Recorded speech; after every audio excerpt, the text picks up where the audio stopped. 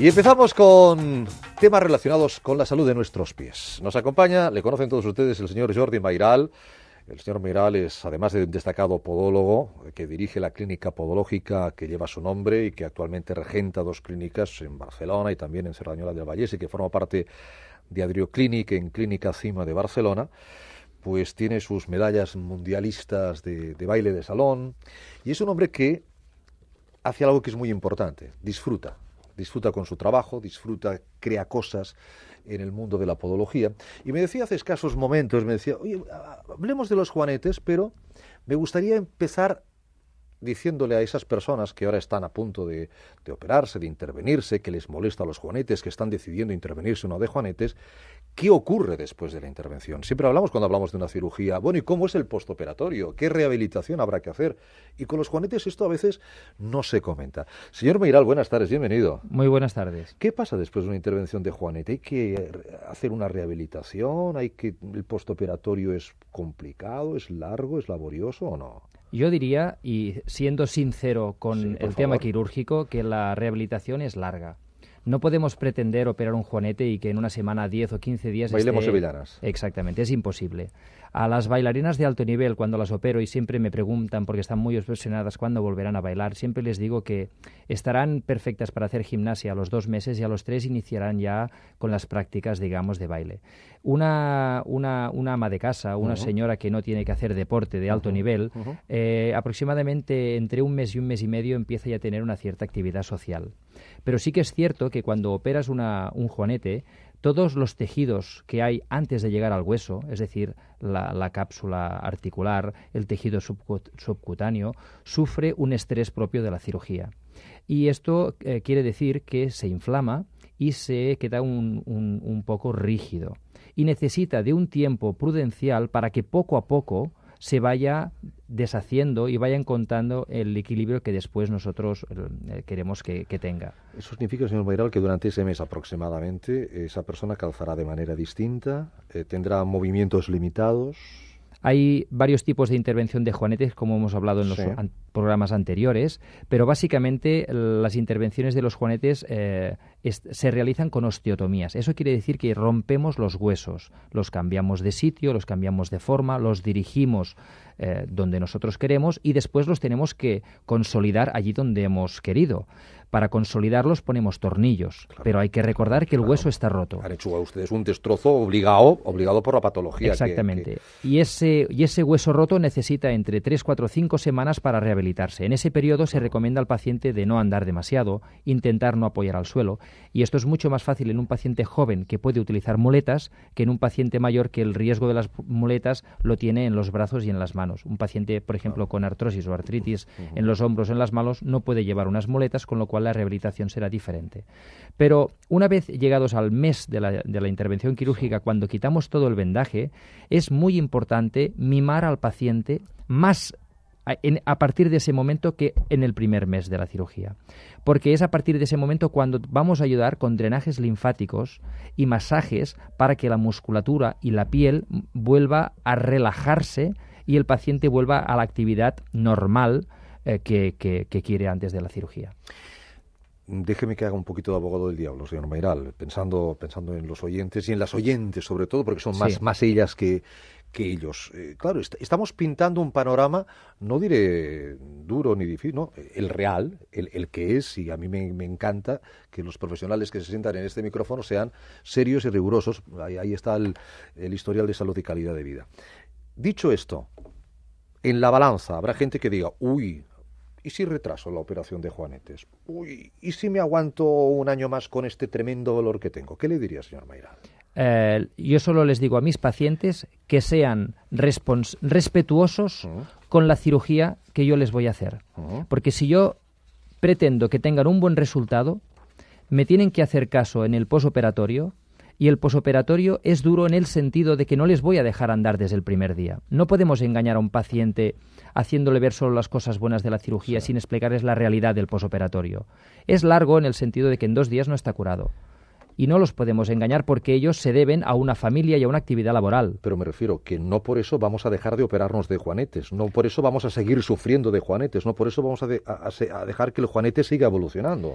Eso es un hándicap que, que, tiene que sospechar, que sospechar la gente. Sí, es la, decir, la balanza, ¿no? Exactamente. Bueno, Eh, evidentemente, si hay una articulación que funciona mal, contra más tiempo pase, más destrozo articular habrá en, en el futuro en la cirugía.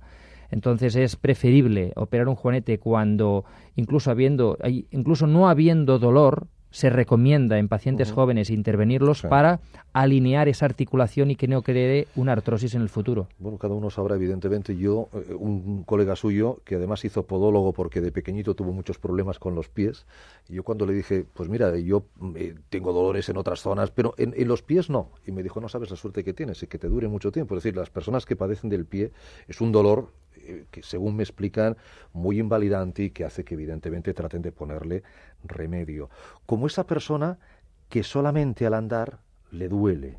Esa fascia plantar, eso de- que, que se inflama, y le hemos fascitis plantar, ¿no? Sí. Eso tiene que ser tremendo, una persona que simplemente caminando, fíjense, no, no, no lo contamos porque es una cuestión absolutamente que llevamos eh, en, el, en, el, en el subconsciente o a veces en el inconsciente incluso, ¿no? Mm, Cada vez que pisamos un dolor, eso debe ser tremendo. Y además en la planta del pie tenemos cuatro capas diferentes de músculos y la mayor parte de ellos están insertados y pasan por el calcáneo. Si no tenemos el centro de gravedad, si no tenemos el equilibrio del cuerpo eh, bien eh, orientado hacia el pie, ese calcáneo sufre un impacto mayor del normal, con lo cual repercute también en la musculatura, creando una contractura. Y a partir de esa contractura es cuando tenemos ese dolor de las fascias plantares, de ahí el nombre de fascitis o fasciosis plantares. Y eso podría ser muy parecido a cuando conoce, mm, eh, usted conocerá muy bien las tendinitis. Mucha gente, ah, pues yo tengo una tendinitis en el hombro, en la rodilla, en el codo. Pues una fasciosis plantar no es lo mismo, pero vendría a ser una cosa parecida. No es nada del otro mundo, simplemente es una inflamación de la musculatura porque no la hacemos trabajar bien. Y ahí sí que está muy relacionado la parte de, la, de delante del pie con la parte de atrás del pie. El pie lo podemos dividir en dos partes, la parte de delante y la parte de atrás, que estaría, digamos, el centro estaría en el puente. Nosotros podemos tener las dos partes del pie eh, dirigidas hacia adentro o desviadas hacia adentro del pie, con lo cual tendríamos mayor componente de pie plano, o podemos tener las dos partes del pie desviadas a la parte de afuera, y un mix total. En función de cómo se transmite esta, este músculo y, este, el, y el eje de fuerzas en el momento de andar es cuando los músculos no trabajan bien, se inflaman y de ahí pues no, el gran trabajo que tenemos con la planta de los pies. Vamos, que hay mucha gente que no sabe andar correctamente, no sabe pisar correctamente. Y además le añadiría que aparte de no saber, no pueden. Porque a veces no es solo el saber, es que a veces no puedes hacer otra cosa porque tienes... Un defecto que tienes congénito. Esta tarde, eh, una de las últimas visitas que he atendido esta tarde con problemas en la planta del pie eh, y preci- preci- preci- precisamente con unos dedos en garra, venía de una contractura con los músculos de la pierna. Tenía contracturado los gemelos y esa contractura de los gemelos le hacía andar de puntillas y al andar de puntillas había un desequilibrio que pro- provocaba unos dedos en garra. O sea, imagínese Sí, sí, dónde sí, tenemos que ir a solucionar el problema cuando lo tenemos en un dedo. Todo está, todo, es un mecano todo. El, el pie, fíjate, dice usted cuatro capas de músculo, es, es tremendo. Me hablaba del calcáneo, y yo creo que a la gente cuando se le habla, se le nombra el calcáneo, le viene el espolón calcáneo a la, a la mente. ¿Qué es Sí. un espolón calcáneo, señor Miral? El espolón calcáneo se conoce a la patología en la cual crece un tubérculo, un bulto en la apófisis anterior del calcáneo, eh, y ese bulto es una calcificación del músculo que está insertado en esa zona del calcáneo. Entonces, muchas veces erróneamente nos pensamos que el dolor del espolón del calcáneo es porque el hueso crece y ya no es tanto por eso, sino la inflamación de los tejidos que están alrededor de ese hueso. Porque el hueso como tal no duele habitualmente. Lo que duele es lo que provoca que ese hueso eh, inflame. Y en este caso los músculos de la planta se ven eh, necrosados, se ven endurecidos y, y esa inserción del músculo en ese hueso inflamado es lo que produce ese dolor tan grande. ¿Y un hueso que, que se inflama se puede desinflamar?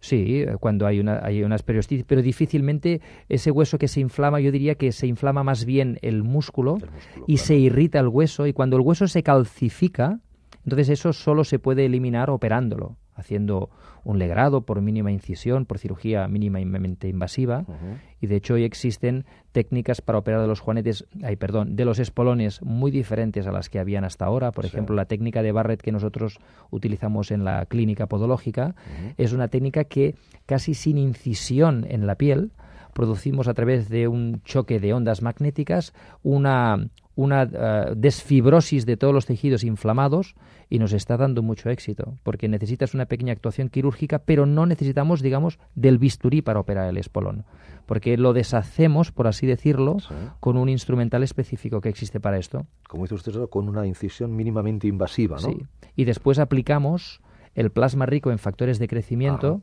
para favorecer que los tejidos eh, regeneren mayormente. ¿Todo esto muchas veces es el calzado es el culpable también? No, el calzado puede influenciar, pero nosotros tenemos una morfología, es decir, nosotros ya nacemos con una predisposición a padecer de los pies o no a padecer de los pies. Y aquí sí que interviene mucho el hecho de ser jóvenes y activos. Es decir, un paciente eh, muy activo socialmente, es un paciente con más riesgo, digamos, de estrés en ese pie. Porque se mueve más, claro. Si además juntamos un calzado inapropiado, pues allí tienes un factor desencadenante. Pero si este paciente ha nacido con una buena morfología, pasarán varios años antes de padecer de un problema por culpa del zapato. Pero si ese paciente ha nacido ya con una predisposición, con una desviación, con una falta de equilibrio y con una falta de sintonía de sus articulaciones, muy tempranamente no necesariamente van a tener que pasar muchos años para manifestar problemas o de espolones o de fasciosis o metatarsalgias o juanetes, porque ya desde jóvenes ya vemos pacientes con problemas. De hecho, los pacientes más jóvenes que vemos con problemas y serios en los pies son los bailarines. ¿Por qué? Porque son ellos los que están muchas horas machacando el pie en el suelo. Y el que nace con una alteración morfológica eh, viene a la consulta antes que el que nace con una buena morfología o el pie para el bailarín, que qué símil podríamos ponerle, no sé, la mano, la muñeca para un baloncestista. Exactamente. Es, su, herramienta fundamental de, de, trabajo, ¿no? La voz para un locutor de radio, por ejemplo. ¿no? Sí, usted, o por ejemplo, cada, cada deporte tiene su idiosincrasia muscular. No todos los cuerpos sirven para un, saltador de, digamos, de pértiga, tiene que tener un cuerpo preparado para la pértiga.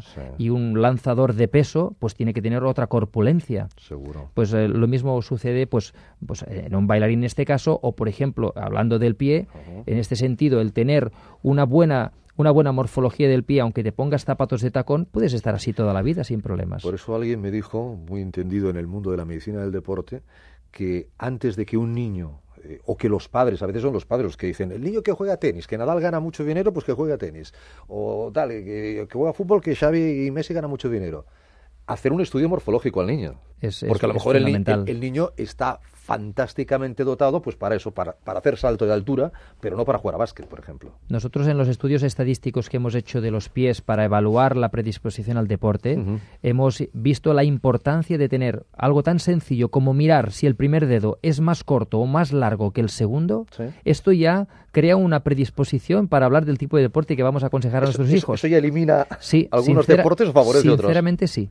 Fíjense la importancia de mirarse los pies, algo que yo creo que hacemos pocas veces, los que no somos profesionales del pie, evidentemente. Pero gracias a, programas como el suyo, pues hacemos una cultura podológica y divulgamos el bien de la podología. Esta divulgación hay un teléfono para más información y visitas sin compromiso posterior, que es el 933397841, 933397841. Y ya saben, el blog personal del señor Mairal, donde ahí están todas sus inquietudes, toda su personalidad, todo su día a día, en www.jordimairal, con Y, jordimairal.com, y lógicamente la eh, la web del centro médico que es clínicamairal.com donde van a ver todo lo que realizan, que es muchísimo y que aquí en unos minutos de radio evidentemente solamente podemos abordar pinceladas. Señor Meiral, Jorge Meiral, muchísimas gracias por haber estado con nosotros. Gracias a ustedes. Nos vemos el próximo día. Hasta la próxima. Cuídese.